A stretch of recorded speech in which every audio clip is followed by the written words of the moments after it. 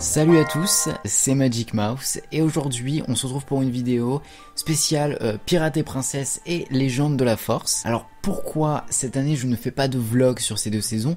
Parce que il n'y a pas assez de nouveautés pour que je puisse vous en faire un vlog complet. Donc du coup je vous fais une vidéo là tout de suite une vidéo battle des deux saisons. C'est en fait tout simplement je vais donner mon avis sur les deux saisons. À la fin je vais donner euh, moi ma préférence et ensuite je vais regarder votre préférence parce que je vous ai proposé un sondage sur Twitter et Instagram. Vous avez été plusieurs à voter. Je vais découvrir votre réponse. Déjà pour commencer, pour vous mettre un petit peu dans l'ambiance, je vous ai fait deux petits clips un clip pour Pirate et Princesse, que je vous balance tout de suite là maintenant.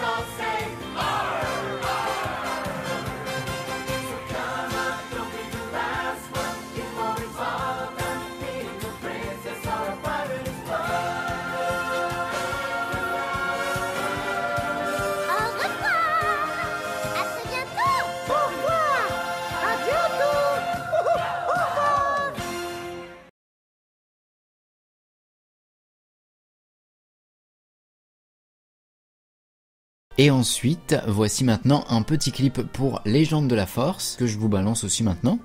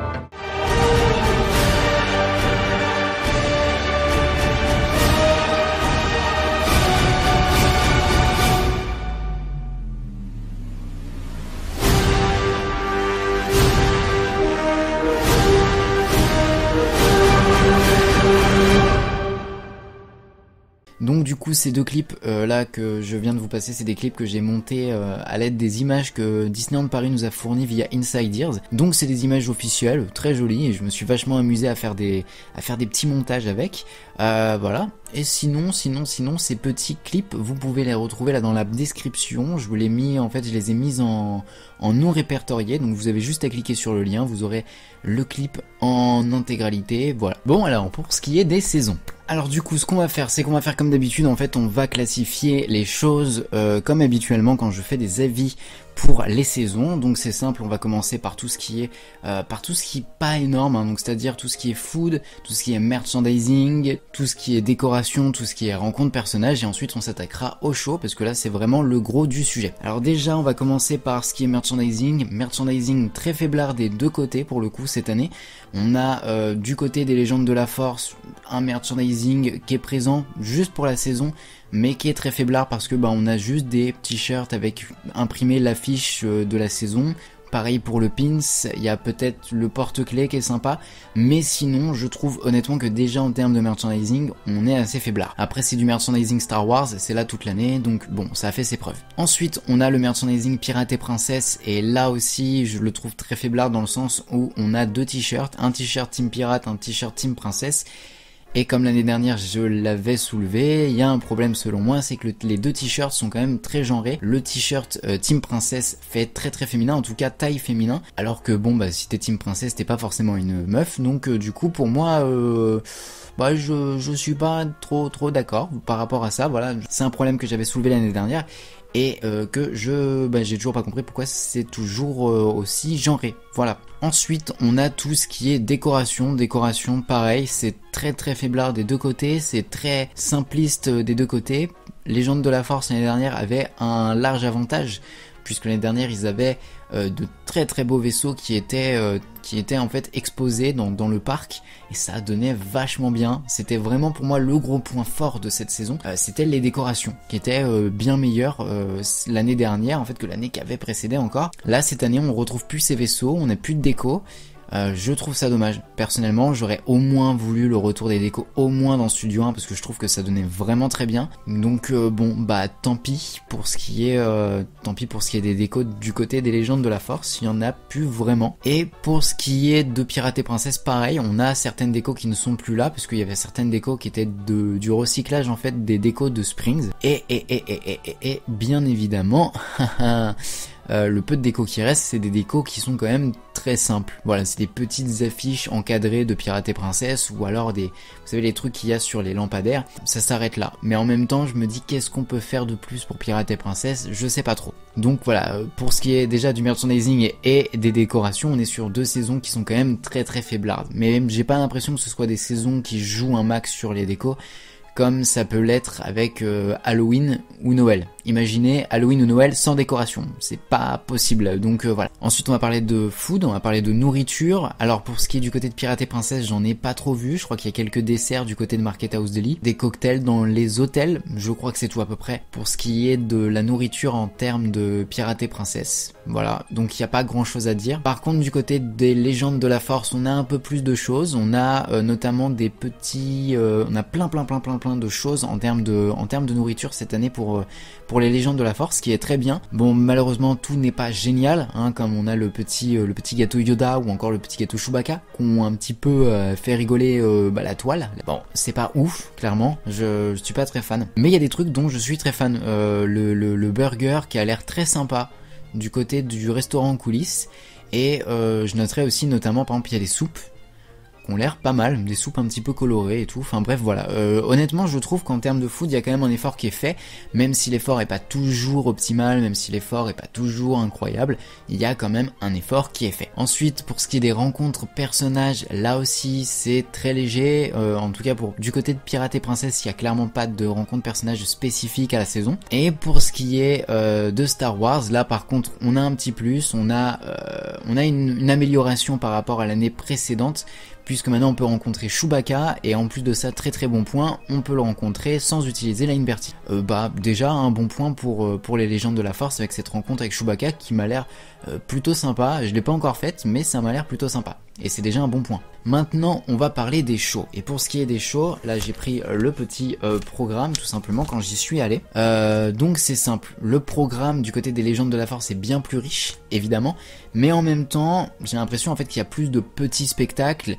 Donc du coup, disons que ça demande moins d'équipes, donc ça demande moins de voilà, bon, c'est pas pareil. Déjà, on a la marche du premier ordre. La marche du premier ordre, c'est une animation qui est déjà là depuis la première euh, édition en fait des saisons de la Force, c'est une animation qui a le mérite d'exister. Voilà, en fait c'est parce que en fait je dis ça parce que maintenant il y a la marche impériale. La marche impériale, c'est la marche du premier ordre, mais avec Dark Vador qui les rejoint sur scène. Voilà, donc du coup, euh, honnêtement, je comprends pas pourquoi on garde les marches du la marche du premier ordre et qu'on laisse pas bah, tout pour la marche impériale, parce que la marche impériale est d'ailleurs, je trouve, meilleure que la marche du premier ordre, euh, même si la marche du premier ordre aussi c'est sympa, mais bon, tu comprends. Donc, euh, je préfère quand même la marche impériale, et, malheureusement quand même c'est deux animations qui se ressemblent beaucoup. Donc, euh, pourquoi garder les deux? C'est une bonne question.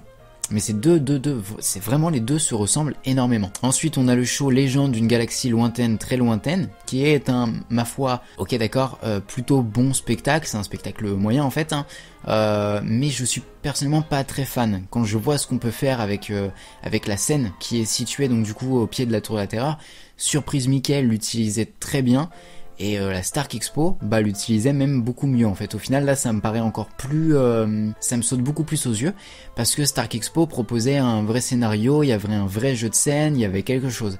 Euh, là, en fait, ce que je reproche sur les gens d'une galaxie lointaine, très lointaine, c'est qu'il y a beaucoup d'écrans et que j'ai l'impression de retrouver, je sais pas si vous vous souvenez, de Star Wars Pass of the Jedi qui avait à Discoveryland Theater. J'ai l'impression d'avoir Pass of the Jedi, sauf que de temps en temps, il y a des personnages qui montent sur scène. En plus, entre les différentes scènes qui servent de bande-annonce. Voilà, j'ai l'impression d'avoir une bande-annonce avec des personnages qui sortent de l'écran. De temps en temps, voilà. C'est ce que je reproche en fait à ce show.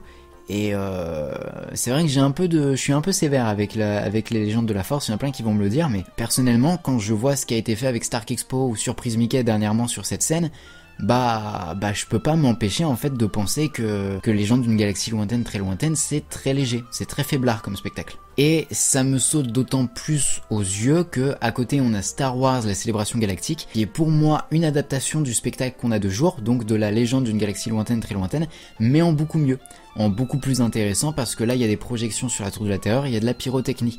Donc pour moi c'est beaucoup plus intéressant. Même si après, voilà, la, célébration galactique ça reste quand même une grosse bande-annonce de ça reste quand même une grosse grosse bande annonce de Star Wars. Bah bah ça reste quand même beaucoup plus intéressant. Les projections sont impressionnantes et, euh, les pyrotechnies la pyrotechnie est pas mal. Et en plus de ça il y a, il y a un peu de scène aussi en plus etc donc franchement pour moi le meilleur show de cette saison c'est la célébration galactique. Hormis ça j'ai un peu de mal. Voilà. Avec les autres shows j'ai un peu de mal donc là, les gens sont en train de se dire, le mec, il déteste les légendes de la force. Il déteste la saison de la force. Il déteste. Non, c'est pas que je déteste. C'est juste que je trouve ça très faiblard. Euh, parce que je sais que les gens étaient très, très, très, très, très, euh, très durs avec la saison Marvel.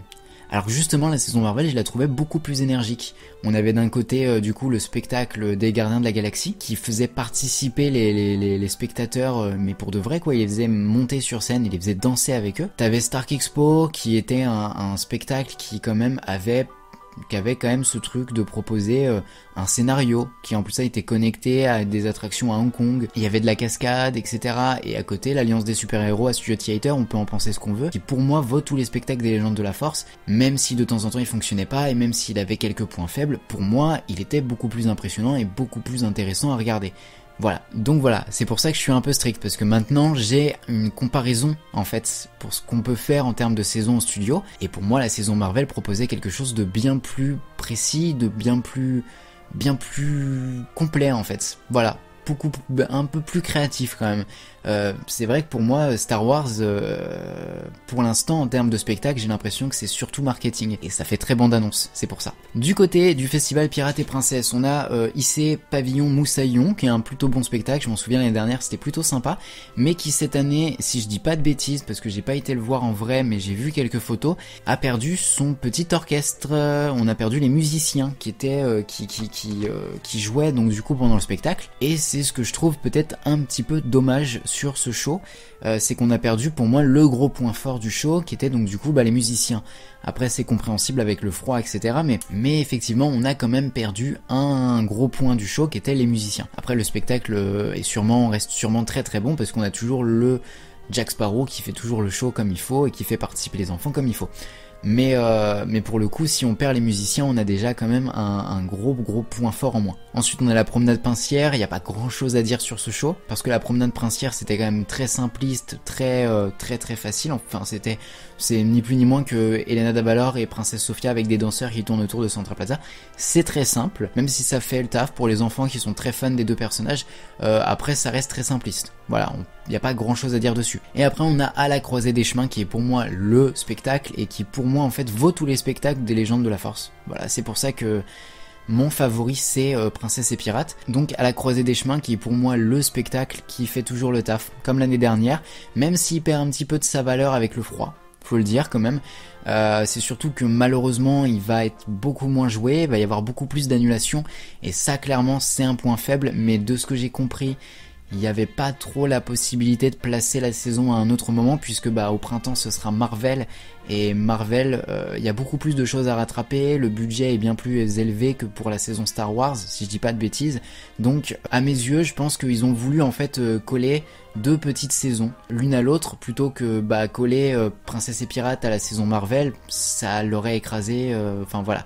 Là, ça permet de calibrer les deux parcs de façon à peu près égale. Mais le chaud fait toujours son taf. Perso, moi, quand je l'ai vu, euh, j'avais très froid ce jour-là parce qu'il faisait 1 ou 2 degrés, il faisait très très froid. Mais quand j'ai vu les chars sortir, bah la musique a commencé à retentir, les couleurs sont très vifs, voilà, toujours très très vifs. Et je sais pas, ça m'a réchauffé sur le moment. Et pour le coup, je suis toujours aussi fan de ce show qui pour moi fait toujours le taf et qui, euh, qui transpire vraiment une énergie que justement les shows de Star Wars n'ont pas. Donc euh, voilà, personnellement pour moi à la croisée des chemins toujours un très très bon show qui a le très très bon point d'être euh, un spectacle qui réchauffe un petit peu le cœur. Voilà, en cet hiver très froid. Et qui donne un petit peu de couleur aussi dans cette, cette saison un peu grisâtre. Bon après moi j'ai eu l'avantage de pouvoir voir le show quand il faisait beau. Et c'est vrai que ça donne beaucoup mieux quand il fait beau que quand il fait froid. Mais bon voilà. On va finir avec vos avis à vous. Donc je vous ai demandé sur Instagram et sur Twitter. Alors sur Instagram, vous avez été à 78% pour Princesse et Pirate contre 22% pour Legend of the Force. Ce qui est beaucoup quand même, hein, faut le dire, faut le noter. Et ensuite, ensuite, ensuite, pour ce qui est sur Twitter, vous avez été aussi là 73% contre 23%, euh, Pirate et Princesse euh, qui remporte à 77%. Pour le coup, je pense qu'il n'y a pas photo, vous préférez Pirate et Princesse, mais en même temps, c'est une saison qui a tellement été aimée par les fans, et c'est pour cette raison que cette année elle est de retour. C'est parce que les fans euh, se sont vraiment, vraiment, vraiment soulevé le fait que ils avaient apprécié cette saison, et je pense que bah, c'est pas pour rien que cette saison est de retour. C'est clairement parce que bah, les fans ont su faire entendre leur voix quand il y avait besoin de la faire entendre. Voilà, comme quoi Disneyland Paris parfois écoute ses fans et c'est plutôt bien. Donc voilà, pour moi c'est Pirates et Princesse qui remporte cette battle, clairement. Malheureusement pour les Legend of the Force qui pour moi a encore des choses à rajouter sur cette saison. Je pense que ça manque d'une cavalcade. Personnellement pour moi ça vaudrait mieux qu'un show comme euh, Légende d'une galaxie lointaine très lointaine, une parade une sorte de cavalcade sur une musique Star Wars. Pour moi, ça vaudrait beaucoup mieux. Donc voilà. Voilà, voilà, j'espère que la vidéo vous a plu. N'hésitez pas à me dire dans les commentaires votre avis. Euh, si la vidéo vous a plu, comme d'habitude, vous pouvez mettre un petit pouce bleu. Vous pouvez vous abonner à la chaîne. Vous pouvez aussi me rejoindre sur mes différents réseaux sociaux pour rejoindre mes petites aventures quotidiennes et vous pouvez aussi me soutenir financièrement sur Utip, c'est gratuit, il suffit juste de regarder une pub. Si vous en avez l'envie, vous pouvez y aller. Dans tous les cas, c'était Magic Mouse pour vous servir et surtout n'oubliez pas de rester des enfants. On se retrouve très très vite pour une prochaine vidéo. Et Team Princesse, Team Princesse, Team Princesse pour toujours. Voilà, euh, désolé la Team Pirate. Hein. Voilà, Team Princesse.